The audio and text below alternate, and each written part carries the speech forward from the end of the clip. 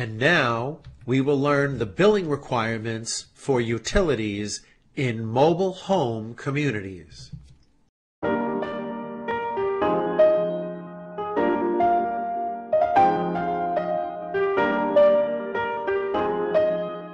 If you have any questions about this topic, you can leave them in the comments section below and I'll do my best to help you. And of course, if you feel the video helped you, I hope you will click like and don't forget to subscribe to get updates on new videos that come out all the time. Owners of mobile home communities have regulations on how they charge and collect for electricity. Each tenant or occupant must have their own meter. Landlords must charge what is on the meter, no more, no less. Usually there is a fixed cost per month plus a charge per usage.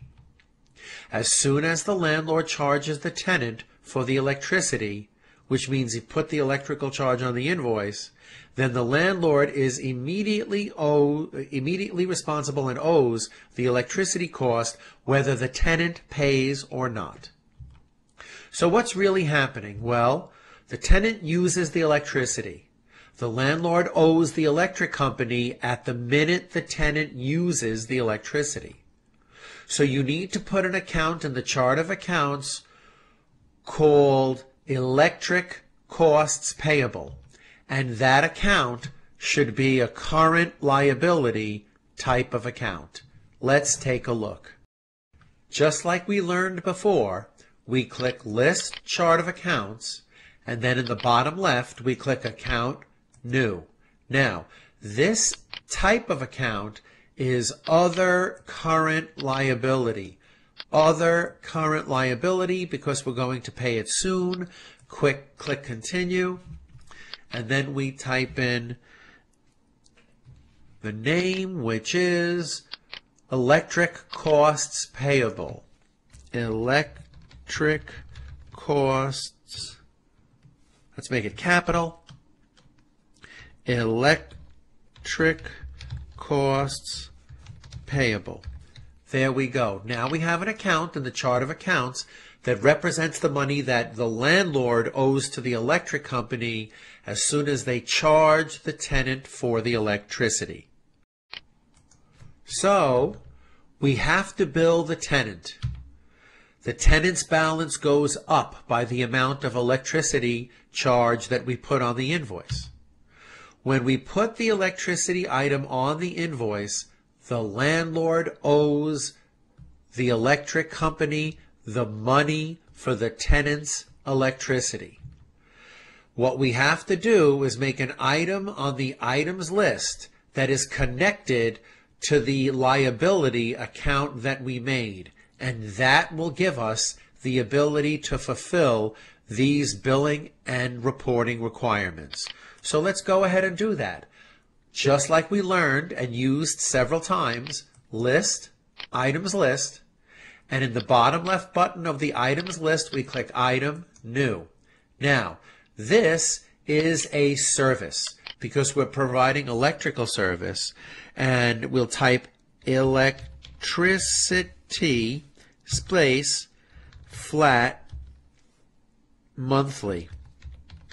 So this item will represent the flat charge per month regardless of how much they use. And for now, we'll put $25 a month. It means no matter what, they pay 25 a month, and then additional to that, they pay for the usage. Now, we'll click the. By the way, you could change this on the invoice or come back and change this anytime. But we click this in the pull down, and we connect this account to the only current liability we have, electric costs payable.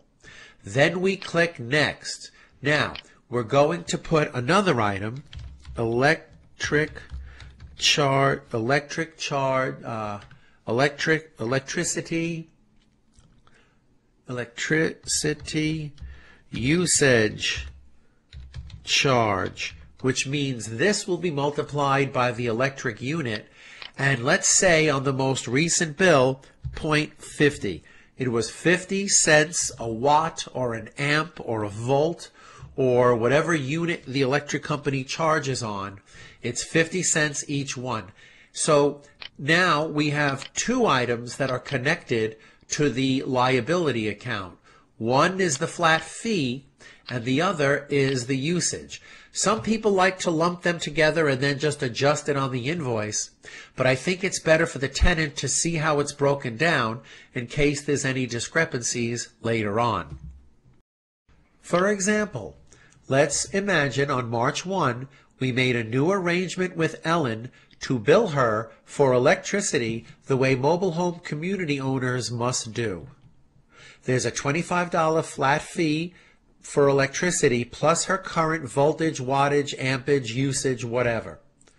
On March 31, we read the meter and we see that she used 60 watts, so let's just say 60 units of electricity, and the electric company bills at 50 cents per unit. We will add this charge to the March 31st invoice. So, Ella's next invoice is March 31st. So we click Invoice, and we fast forward to March 31st. And be careful in our little story, it's March 21st of 2020. Now, we agree with rent receivable because if we look at the rent balance report and we scroll down for Ellen, we can see she has a positive balance at the moment we're making this invoice. So we agree that it should be rent receivable. And then the tenant is Ellen, and we have almost all the information we need. So her regular monthly rent, I happen to remember, was 2000 per month.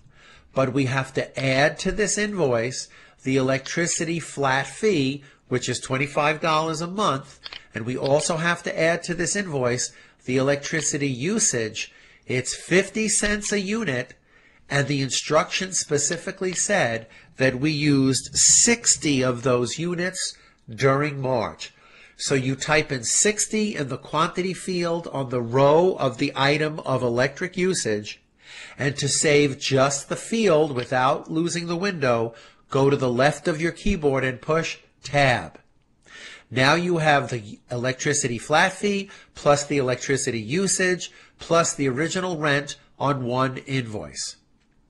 Look what happens when you click Save and Close.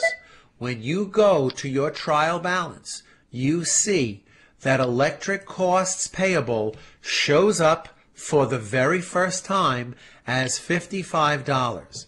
This is the first time you've charged electricity, so it's the first time that you owe this liability to the electric company because of your tenants. And now finally, on April 5th, we paid the electric company what we owe specifically for the tenant's electricity. So, how do we do that? Well, it says that the uh, electric costs payable are $55, so we have to write a check to the electric company in New York. The name is Con Edison, it's only for example, and we have to make it for $55. And again, in our little story, it's April 5th of 2020.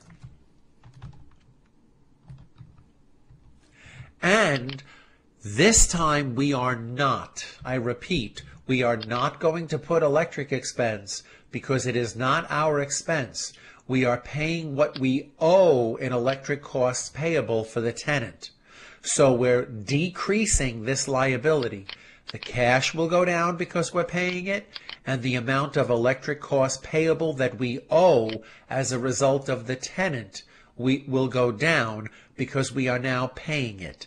We are paying the tenant's electricity, not our own, and not the general electricity of the building.